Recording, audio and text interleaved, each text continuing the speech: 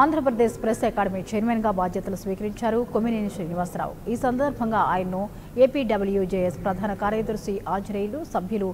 AP బీజేఏ రాష్ట్ర convener Srinivas Krishna జిల్లా convener Abdul Aleem సహా పలువురు అభినందించారు